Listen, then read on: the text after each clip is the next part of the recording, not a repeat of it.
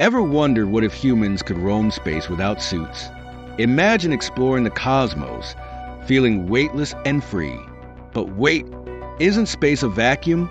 How could we survive? Without suits, we'd need a way to breathe and withstand pressure. What if our bodies evolved to adapt to space conditions? We could harness energy from stars to power our bodies. Imagine the adventures, visiting alien worlds and cosmic wonders. No more bulky suits, just pure exploration and discovery. But what about the dangers?